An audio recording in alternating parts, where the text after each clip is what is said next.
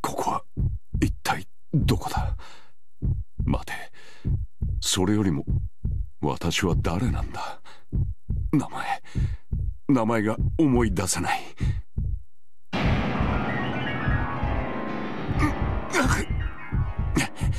頭が割れるように痛い。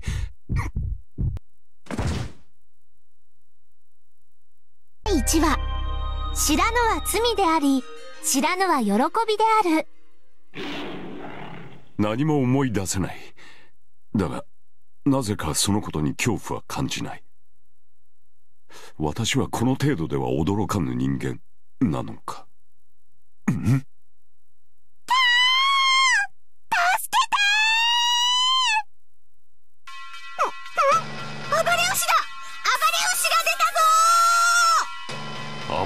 だと。そんなものが出るのかここは。暴れ牛がこっちに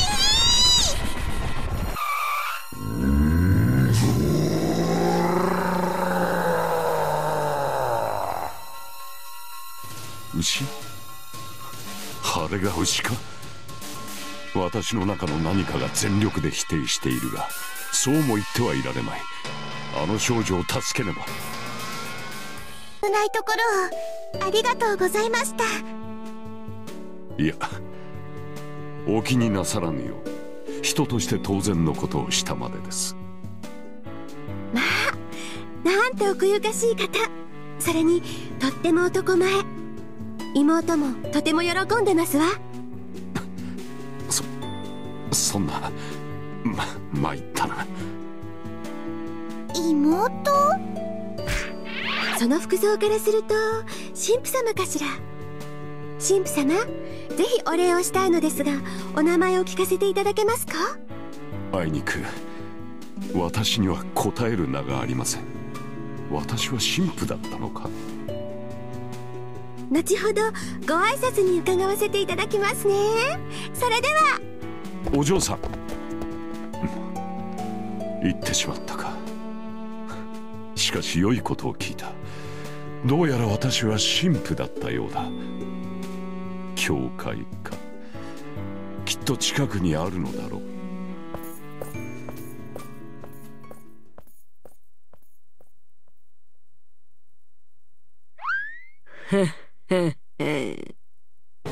作戦成功でやんすね。親便。あったぼうやって。親便って呼ぶな。しかしここまでうまくいくとはね。まさか記憶を消しての登場とは。大河やお主も悪魔っ子よのだってこのぐらいしないとさ面白くないんだもん。キモ。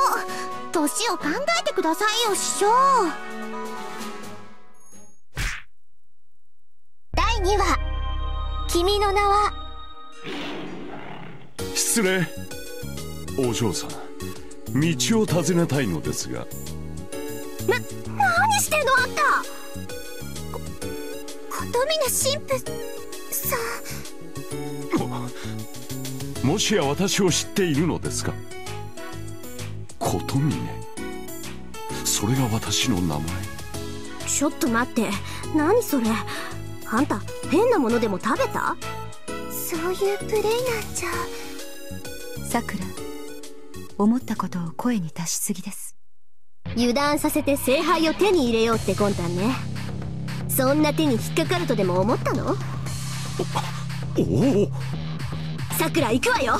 こいつを叩きのめすのよ。はい。じゃあライダーも。この容赦のなさ。あんた本当に記憶がないの？ええ。名前さえ今知ったありさまで。はあなるほどね。にやり。じゃない。琴峰神父？そんな格好だから気づきませんでしたわ。いつもの姿に戻ってくださいな。いつもの？はて普段の私はどんな姿を？まず髪型ね。ズバリ七三分けよ。ほほう。七三？果たしてそれはどのような？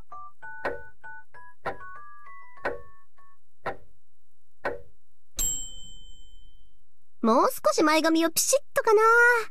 ライダーそれも貸して。あ。はいこんな感じね。どうですか？それよ。いつものことみね。し でも意外と。ありがとうお嬢さん。なぜだか洋服をプレゼントしたい気分です。教会ならこの道をまっすぐ行った坂の上にあるわ。坂の上？おおありがとう。琴峰神父さん一つ注意が。ん？何でしょう？尋ねるときはまず戦いを挑んでください。勝つと答えが聞けちゃうんです。それがマナーですので気をつけてください。ほうそうだったのですか。それであなた方は私に戦いを？良いことを教わりました。感謝します。いえいえ。それではお気をつけて。この礼はいずれまた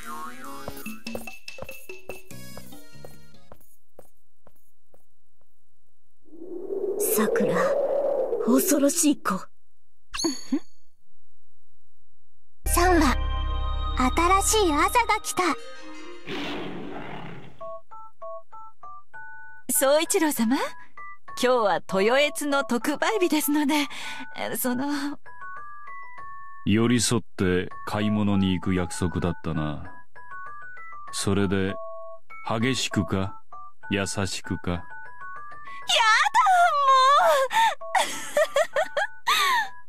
お楽しみのところ悪いが来客のようだぞ。またこのパターン。いい加減お約束にも限度があるでしょうに。ん？ここは寺のようだな。道でも間違えたか？おやあそこに人がいる。すいません。あなたは？よくもここに顔を出せたものね。無礼なのもこうまで来ると気持ちがいいわ。なんと私をご存知ですか？ならばあいや、うん、まずは戦いを挑むのだったな。では勝負を受けていただきましょう。美しき女性よ。よくもいけしゃしゃと。やってやろうじゃないの。アサシンやっておしまい私も手伝おう。優しくか？激しくか？宗一郎様素敵。お似合いのバカ夫婦だな。あ少々待っていただきたい。戦う前に眼鏡を外させてください。借り物の上戦闘には向かないので。なんか気が抜けるわねこの人あなた記憶がないの？はい。それで先ほどカクカクしかじか。へえ。うん。それでメガネを。じゃあ私も助けてあげましょう。宗一郎様お願いがございます。この方に背広を貸してもよいでしょうか？うん。この方は普段は背広を着ていたはずそれに今の戦いで服も汚れたようですし。なんと普段の私は背広を構わん。好きにするがいい。ありがとうございます。アサシン急いで取ってきなさい。何を企んでいるのかわからぬが承知した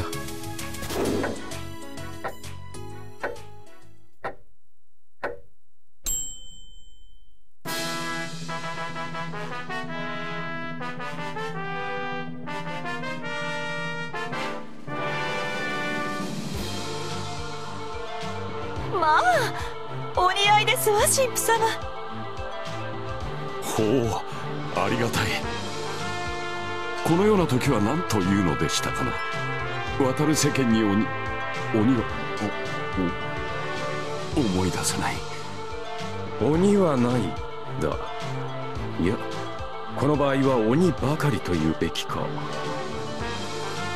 なんと世に魔女のいや鬼目の多いことよあんた後で境内裏に呼び出しね。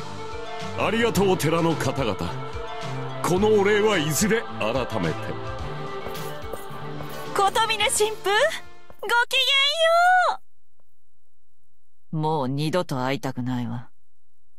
もしあったらその時は見ものだな目につね。4話「リメンバーラ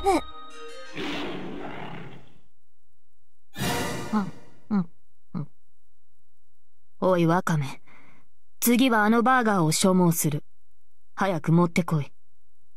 なんでそんなに食うんだよ。大体なんで僕がおごるのさ。まあまあ坊ちゃん。セイバーさんだって色々大変なんですよ。何その適当で曖昧な相槌。どこぞのおばちゃんか。懐も頭も寂しいお前は黙ってろよ。帰れはいはいそうですか。それでは寂しい私は先に帰りましょうかね。待てよ僕をこいつと二人っきりにさせる気？血も涙もないなお前。最悪。帰るなよ。どっちなんですか？ん？坊ちゃんあれは？毒舌シンプソン。だよな。なんだあの格好。訪問販売のアルバイトでも始めたのか。おい！そこのうだつの上がらない営業マン。うん？頭にワカメを乗せた珍妙趣味の少年私のことを呼んだかな？その口調間違いなく悪徳神父だ。そんな格好で何してんだよ。神様のおぼし飯か？おぼし飯とはどのような飯か？食べてみたいぞ。持ってこい。セイバーさんちょっと静かに。ね？なぜだろう少年。君と話していると無性に腹が立つ。ついでだ少々尋ねたいことがある。なので戦いを挑ませてもらうとしよう。変わった営業マンだなおい！ん？記憶喪失ね。美少年の僕にこそ似合いそうな症状だよな。おいメガネ。お前なかなか面白かったぞ。褒美にこれを施す。食すがよい。激辛カキフライバーガー 不思議だ。この匂いがとても私の食欲を誘うぞ。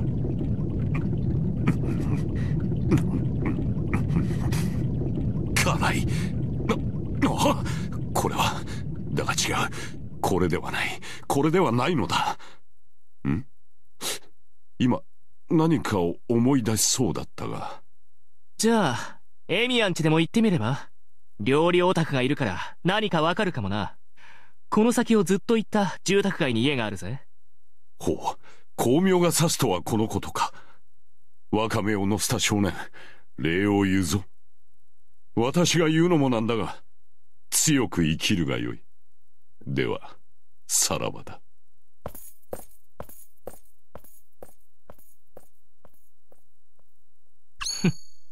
さりげなくまた人を救ってしまった。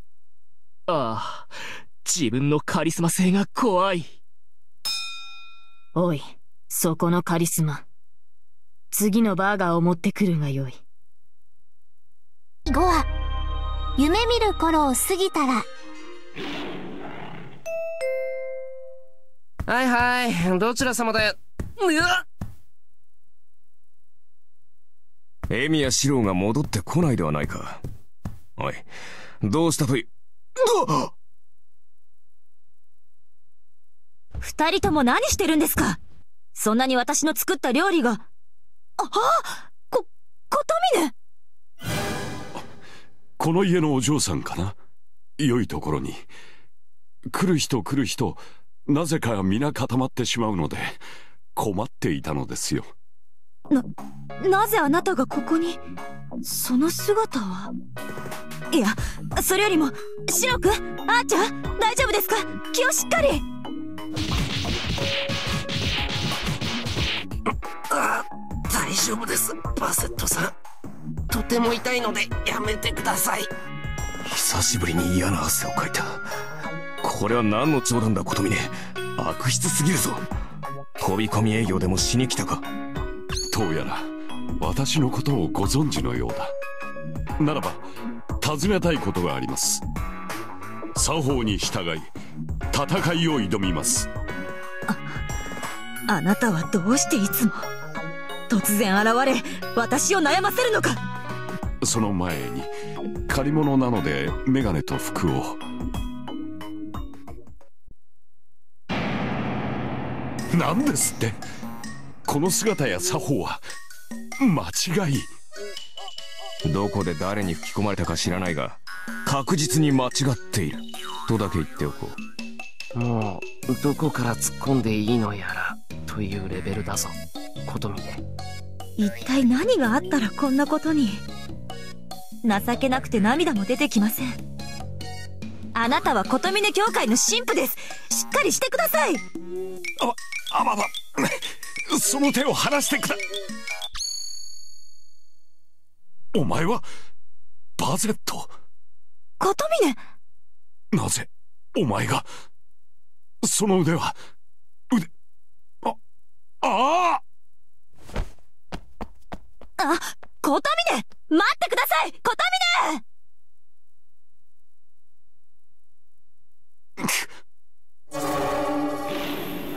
頭が割れるように。ああ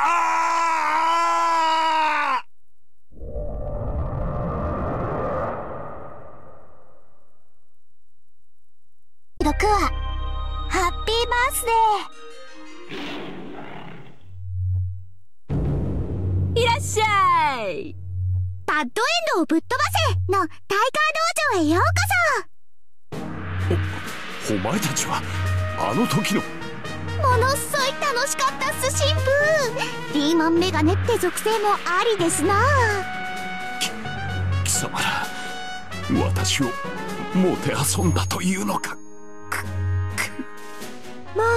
あまあ坊やったらどうしたのかしら？そんなに震えちゃって。かわいい。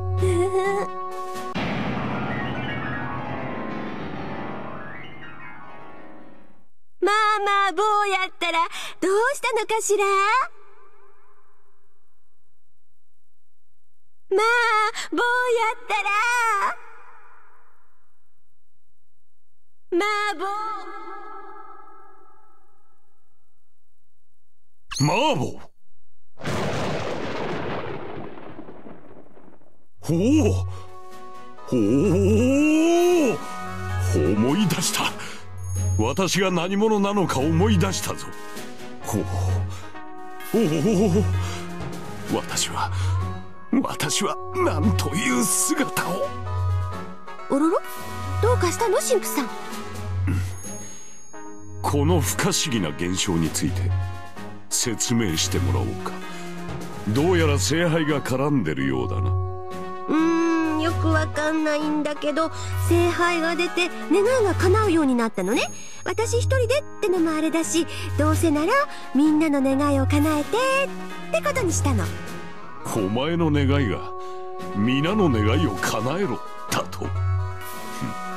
つまりこういうことか。例えば凛が君の口車に乗って虎聖杯とやらの騒動を収めたとする。その際報酬として大金を得る。そうその大金を得るという結果そのものが凛が無意識に持っていた願望だと。他人の願望を叶えるとは随分面白い思考の願いにしたものだな。しかしそれならばだ。まだ聖杯を我が手にする可能性があるということ。ん？何やらさっきまでとは違う雰囲気。本当に記憶が戻っちゃった？失礼した。この世界にはマナーがあったな戦って情報を聞き出すというマナーが。ひーよみがえる神父さんバイオハザー出動せよ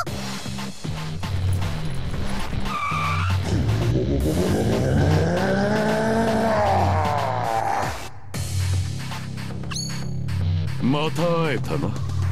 暴れ牛。さてそれでは向かうとするか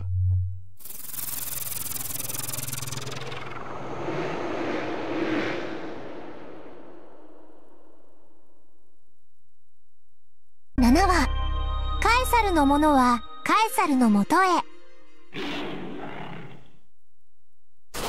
ほう、懐かしき我が家と感嘆すべきか。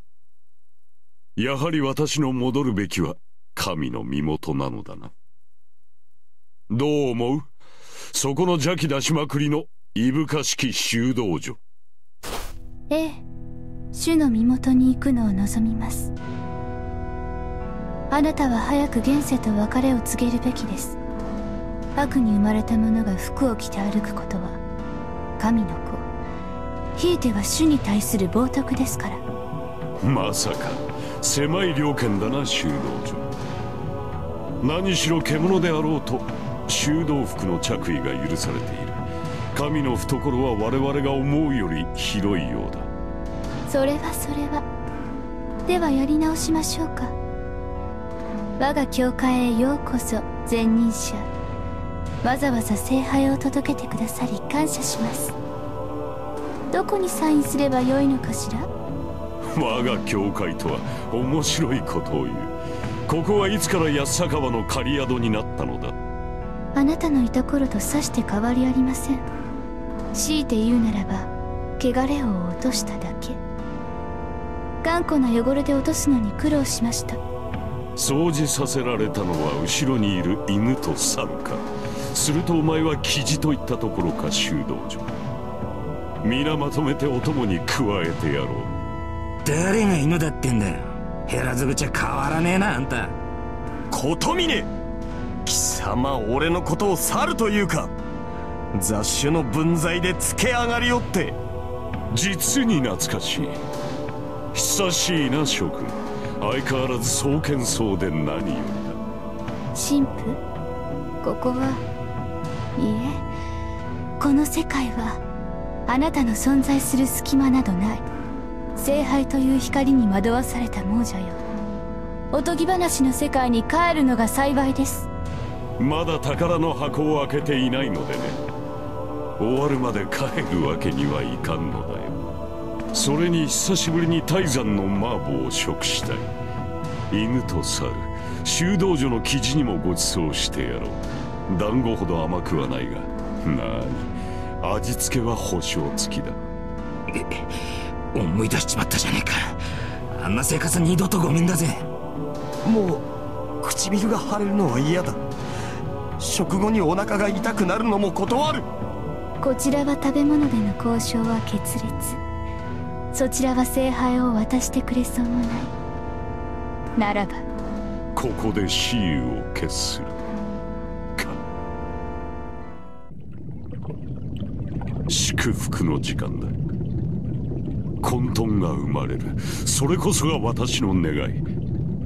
ついでにリーマン姿の記憶も消して。ん？なんだ？人影？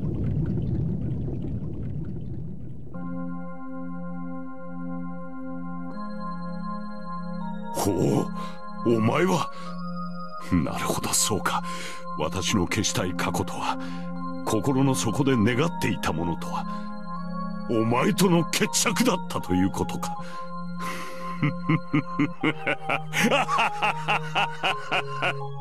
かの者の復活に感謝するぞ。聖杯よ